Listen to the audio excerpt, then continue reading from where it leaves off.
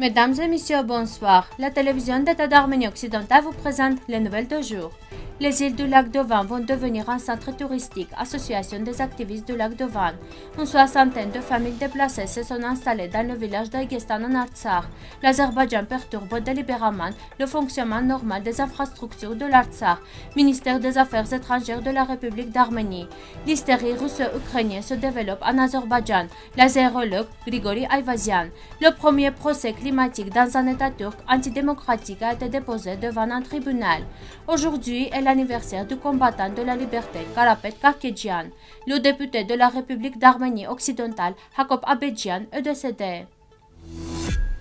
L'association des militants du lac de Van en Arménie occidentale a fait une proposition soulignant que des efforts devraient être faits pour impliquer toutes les autres îles du lac de Van dans le tourisme, à l'exception d'Artamar. Dans les publicités présentées par l'association sur diverses plateformes sociales avec des vidéos et d'autres méthodes, les déclarations suivantes sont faites. Vous pouvez visiter le lac de Van, l'île légendaire d'Artamar en Arménie occidentale, dont la beauté historique et naturelle veut le détour. L'action a attiré l'attention sur le fait que l'île d'Artamar a déjà une place importante en termes de tourisme et il est souhaitable que des mesures similaires soient prises pour les autres îles du lac de Van, Ketouts, Arter et Lim. 1246 habitants vivent et créés dans la communauté d'Aïgestan de la région d'Askelan de la République d'Artsakh, accrochée à la terre natale. Le maire d'Aïgestan, Maher Vanessian, l'a dit. Selon lui, après la guerre de 44 jours, environ 60 familles déplacées se sont installées dans la communauté. Comme l'a noté Vanessian, les villageois travaillent principalement sur les chantiers de construction. Il y a aussi ceux qui sont engagés dans l'agriculture. L'école compte 214 élèves, l'école maternelle compte 55 élèves. Pendant la guerre de 44 jours, les toits de presque toutes les maisons du village ont été endommagés. Certains d'entre eux ont déjà changé. Les routes rurales doivent être améliorées. En raison de temps pluvieux, l'état des routes se détériore. Il y a une salle communautaire, un poste de sécurité, une salle de banquet, un club dans la communauté qui ont besoin de rénovation. Le ministère des Affaires étrangères de la République d'Arménie a publié une déclaration sur les actions de l'Azerbaïdjan visant à créer une crise humanitaire en Artsakh. L'annonce est partiellement présentée ci-dessus. Avec l'intervention évidente de la partie azerbaïdjanaise, l'approvisionnement en gaz naturel de l'Arménie vers l'Artsakh a de nouveau été interrompu. Ainsi, environ 120 000 habitants de l'Artsakh ont été privés d'approvisionnement en gaz. Outre ces actions visant à exercer une pression psychologique sur la population d'Artsakh et à empêcher l'entrée d'organisations organisations humanitaires internationales en Artsakh, l'Azerbaïdjan perturbe délibérément le fonctionnement normal d'infrastructures vitales en Artsakh. Nous considérons cette politique scandaleuse de violence systématique contre les Arméniens d'Artsakh inadmissible. La situation actuelle rend urgente une réponse claire de la communauté internationale pour prévenir une crise humanitaire ainsi que l'implication immédiate et sans entrave des organisations humanitaires internationales en Artsakh. Sur Western Armenia TV, l'azériologue Grigori Ayvazian a analysé en détail la position de l'Azerbaïdjan pendant la guerre russo-ukrainienne, présentant les actions pro-russes qui sont actuellement menées en Azerbaïdjan. Il a également noté qu'Aliyev aggrave maintenant la situation dans le Caucase du Sud, le long des frontières de l'Artsakh et de la République d'Arménie, à la suite de quoi il considère qu'il est possible d'ouvrir un nouveau front avec les mains et les pensées de la Turquie et les actions de l'Azerbaïdjan, qui met à l'épreuve la patience du peuple arménien. L'Azerbaïdjan a déjà ciblé les frontières de la République d'Arménie compte tenu du fait qu'une autre victime a été enregistrée ces derniers jours par la partie arménienne dans le secteur de Yerasr.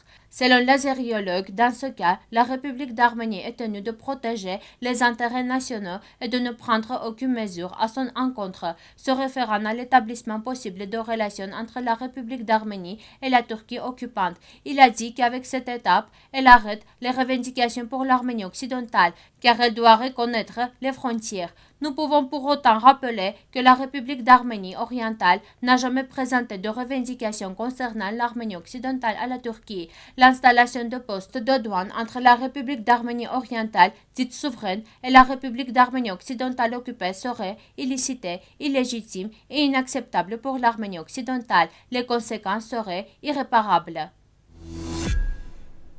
Le premier procès climatique a été déposé au nom de pêcheurs de l'Arménie occidentale occupée au sujet du lac Marmara à Manissa qui risque de s'assécher. Dans le cadre du procès, une requête a été soumise au tribunal administratif de Manissa pour déterminer l'étendue de la responsabilité des organes de l'État pour le lac menacé de sécheresse. De 2011 à 2021, à la suite d'une mauvaise politique de l'eau et de l'abandon des structures étatiques, elle a perdu 98,18% de sa superficie et c'est presque complètement asséché.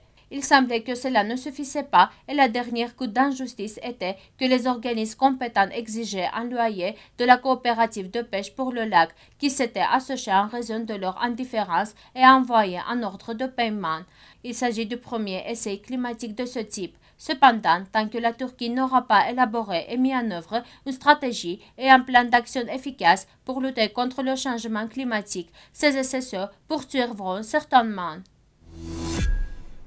Karo est né dans la ville syrienne d'Alep. En 1978, il s'installe en Allemagne pour étudier l'architecture à la faculté de génie mécanique de l'université d'ingénierie de Francfort. Il s'installe ensuite à Fresno, en Californie. Pendant les années où il a vécu au Liban, il a participé au combat d'autodéfense dans le quartier arménien de Beyrouth. Il est venu en Arménie pour aider lors du tremblement de terre de en 1988. Avec Shahé Achemian, il a formé le détachement des croisés. En 1991 à 1993, il a participé aux batailles d'autodéfense et de libération des régions d'Ararat, Tavush, Askeran, Martakert, Kharvachar, Dartsakh région de Berthazor. Lors de la libération de la colline Pushkenial avant l'attaque des forces principales, il est combattu avec son détachement contre les forces dominantes de l'ennemi, garda la colline et mourut au combat. Son corps a été enterré à Yerabulur, où son monument est érigé. Nous sommes profondément attristés d'annoncer le décès de Jacob Abedjian, citoyen d'Arménie occidentale, membre de l'Assemblée nationale de la République d'Arménie occidentale, fils dévoué de la patrie. Le président de l'Arménie occidentale, Armenak Abrahamian, présente ses condoléances aux parents et amis du défunt et leur souhaite de la patience. Le rôle de Jacob Abedjian était grand dans le travail difficile et rempli d'obstacles de l'établissement de la prospérité de l'Arménie, soulevant ses problèmes et le présentant au monde. Son souvenir sera toujours brillant dans le cœur des députés de l'Assemblée nationale de l'Arménie occidentale. Tous les citoyens dévoués à l'idée de l'Arménie occidentale. Restez en paix, chers amis. Merci de votre fidélité et à la fin de notre émission, vous pourrez profiter d'une performance musique folklorique des Arméniennes. Vous pouvez écouter la version complète de la musique sur notre site web.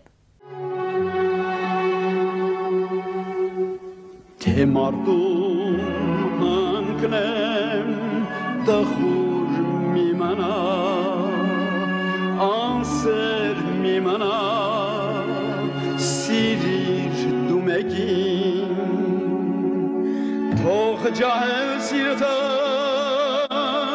سیرو varpena Apsose varta Toşin